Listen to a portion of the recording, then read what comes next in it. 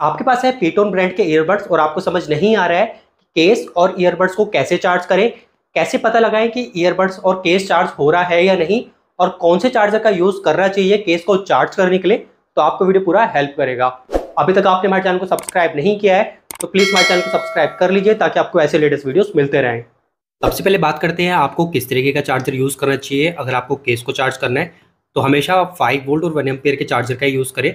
तो अगर आपके घर में कोई भी चार्जर तो आप यहाँ पे जाके अपने चार्जर में चेक करेंगे तो यहाँ पे उसकी पावर रेटिंग लिखी होती है आउटपुट की। तो इस केस में देखें, ये है इसकी output rating five volt two ampere तो आप हमेशा फाइव वोल्ट वन एम्पेयर के ही चार्जर का यूज़ करें केस को चार्ज करने के लिए। अगर आप घर पर सर्च करेंगे तो आपको कोई ना कोई पुराना चार्जर मिल जाएगा, जो इस तरीके की लो आउटपुट वाला होगा।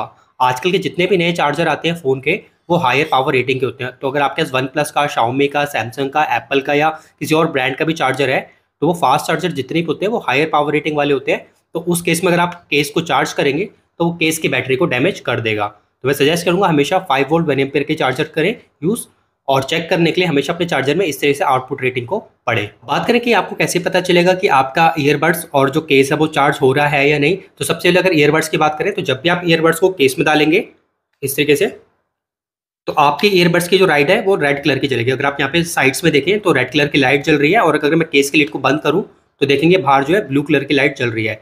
इसमें ये इंडिकेट कर रही है कि आपके जो ईयरबड्स है, वो चार्ज हो रहे हैं। और जैसे भी आपके ईयरबड्स फुल चार्ज हो जाएँगे तो ये जो ब्लू लाइट है, ये जलना बंद हो जाएगी और अंदर जो आपको रेड लाइट दिख रही है कॉर्नर्स में, आप यहाँ पे देख पाए, ये भी लाइट नहीं चलेगी तो इस तरीके से आप ईयरबड्स का चार्जिंग का पता लगा सकते हैं। वैसे अगर केस की बात करें तो जब आप केस को चार्ज करेंगे तो अभी तो अभी केस ईयरबड्स को चार्ज कर रहा है। मगर जब आप केस को चार्ज करेंगे, अपने चार्जर से फाइव वोल्ट वन एम्पियर वाले से तो आप देखेंगे यहाँ पे ऑरेंज या रेड कलर की लाइट ब्लिंक करना शुरू कर देगी।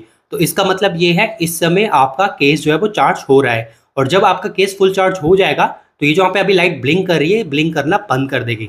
तो इससे आपको पता चल जाएगा कि आपका जो केस है वो फुल चार्ज हो गया है। अब बात करें कि बेस्ट वे क्या है ईयरबड्स और केस को चार्ज करेगा तो मैं आपको हमेशा सजेस्ट करूँगा, जब भी आप ईयरबड्स को यूज़ नहीं कर रहे हैं, आप उसको हमेशा केस में डाल दें।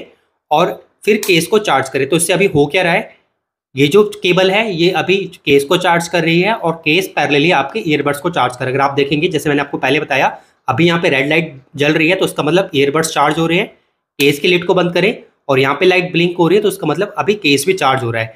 तो इस तरीके से बेनिफिट ये होता है कि पैरेलली आपके दोनों चीज़ें चार्ज हो जाती हैं। अगर आप अकेले अकेले भी चार्ज करना चाहते हैं, मान लीजिए अभी मैं ईयरबड्स को यूज़ कर रहा हूँ और केस से बाहर निकाल लूँ तो मैं केस को अकेले भी चार्ज कर सकता हूँ। तो आप देखेंगे इस केस में मेरा केस अभी भी चार्ज हो रहा है, मगर ईयरबड्स को फिर मुझे बाद में चार्ज करना पड़ेगा।